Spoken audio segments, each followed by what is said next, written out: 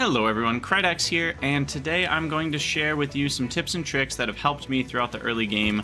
Starting out, I want to talk about slide jumping. Uh, this was nerfed quite a bit, so you no longer need to feel like you need to slide jump everywhere. However, it is still technically faster. I did some testing. Some people online were saying that it's been nerfed and it no longer provides any boost, and that's just not true. It still does provide about a 10% boost but that's not so much as it used to be, and you don't need to feel like you need a slide jump everywhere. Just regular running will work fine, and this does apply to both Caterium, or uh, Blade Runners and non-Blade Runners uh, alike, so you can just walk around your factory like a normal engineer now. Second thing I want to bring up is that Alt plus right mouse button brings up a stamp menu. And when you place a stamp, it will go wherever your cursor is pointed. So you can put a stamp on a distant area if you want to make a note to go there later. Maybe you see a drop pod in the distance or an ore deposit. So you can just easily place a stamp and then um, go there later. Item number three I want to discuss is that you can leave hard drives uh, unselected. So you can build up a large stockpile of them to select. Currently there is a bug, as you can see so that you can't actually uh, see all of them in the menu yet. I'm sure that will be fixed soon. Uh, hopefully by the time this video is released it'll be fixed. But yeah you can research as many hard drives as you want and then select them uh, that way you can kind of compare which ones you have together and maybe select one of your favorites for a certain item like motors or you can find two that work well together and then select them together. So that way you have a little bit more information before you make your decisions now, this is a feature that was actually added before 1.0, but I wanted to highlight it because it is one that I did not know about until recently, and if you've been away from the game for a while waiting for 1.0 like I was, you will love this feature.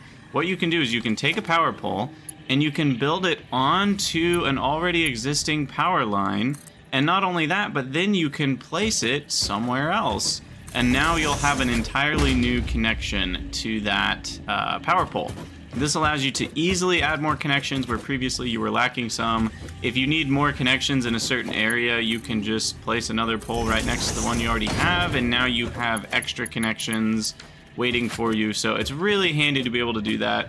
Um, I can't believe I didn't know that that feature was a thing until just a couple weeks ago, so I love that feature. Tip number five is that you can carry a lot of ore in your inventory. You do not need to automate everything from minute one of the game, especially early on when you're working through the MAM researches and you're wanting to have more of that quality of life, you know, whether it's the Blade Runners or the Dimensional Depots in Alien Technology, so what I recommend is actually when you find an ore deposit, just plop down a bunch of miners, grab a bunch of ore, and walk home. You don't have to do anything more than that to work on your MAM researches, and you don't need thousands and thousands and thousands of these ores to just get the quality of life stuff going. Tip number six, drop pods can have some pretty fat loot.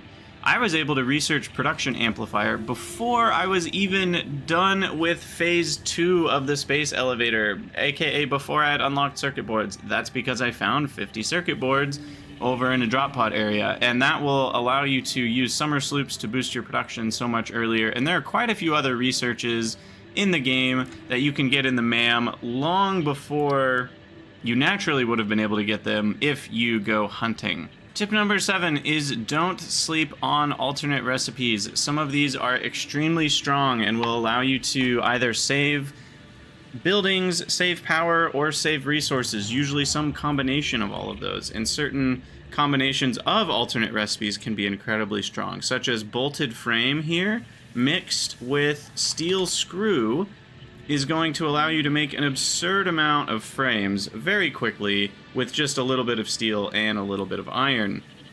So I highly recommend checking out uh, nearby hard drives, you know, do some hard drive hunting. It is worth your time. Tip number eight is go hunting for SAM.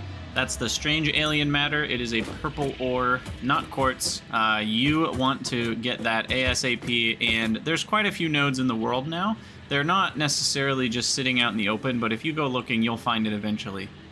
I will tell you, these dimensional depots are a game changer. You need them.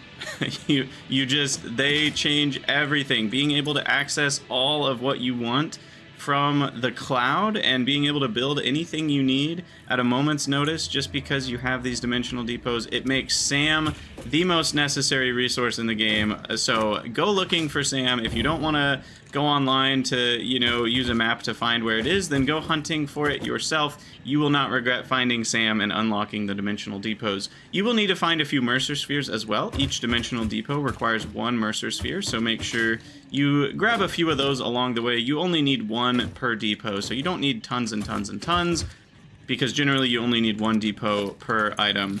Anyway, but there are Mercer Spheres all around the map, so it won't be too hard to find the amount that you need.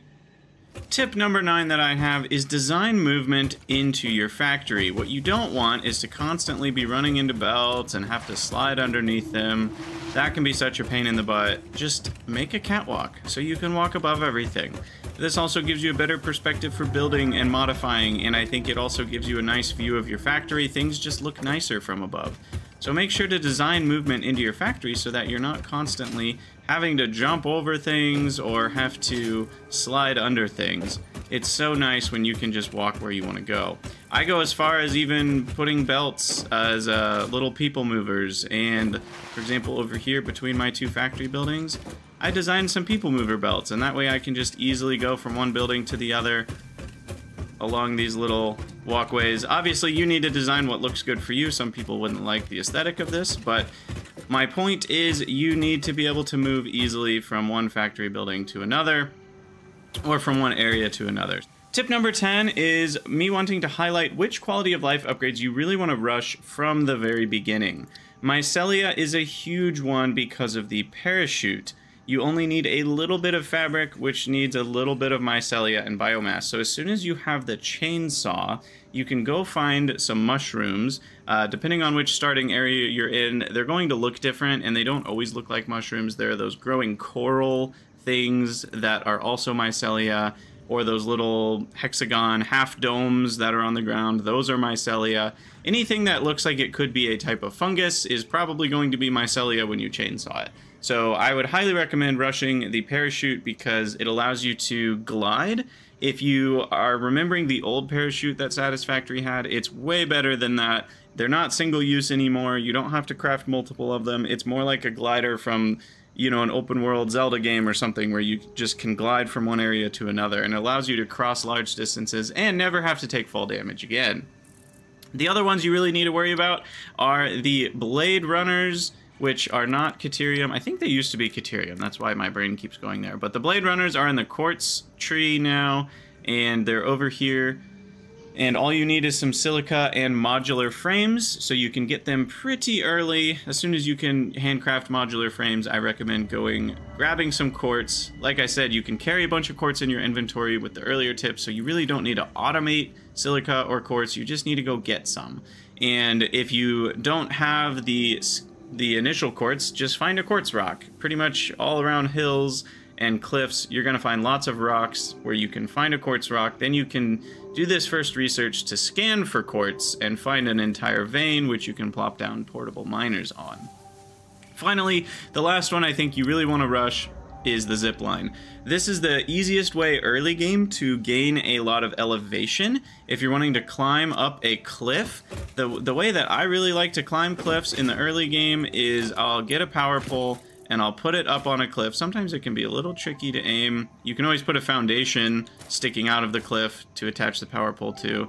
If you don't like to do that, because it feels pretty cheaty, that's fine, but you can grab your power pole, put it on the cliff, get another power pole right next to you, and then you can zip line up that cliff. This works on very steep cliffs as well, so you can get a lot of elevation.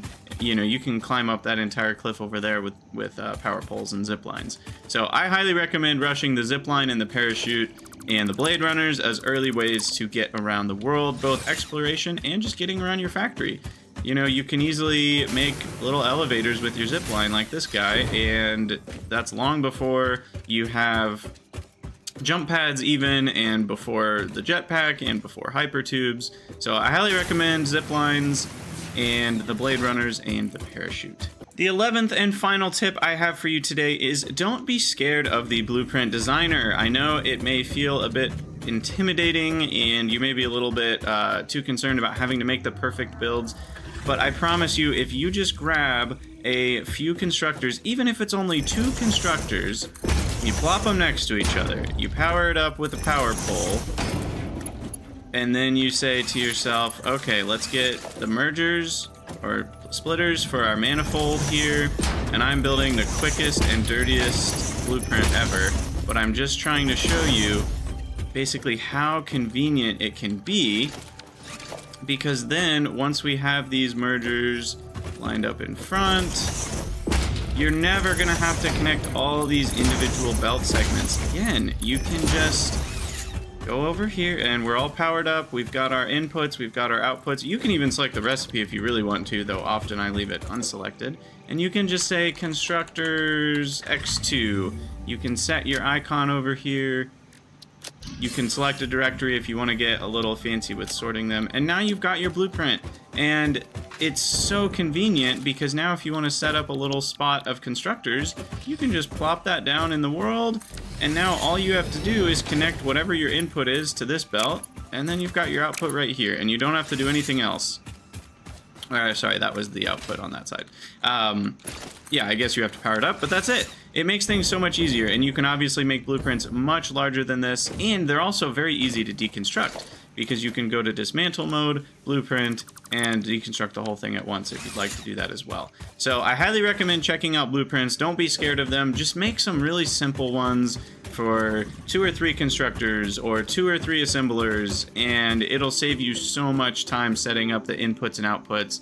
Just having the manifolds pre-attached to the buildings alone is a huge boost. Obviously, having the power hooked up.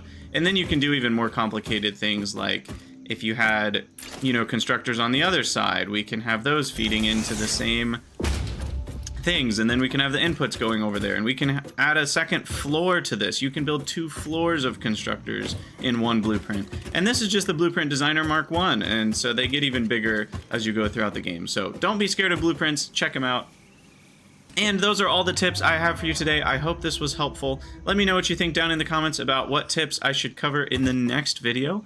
Thank you guys for watching, and I'll see you in the next one.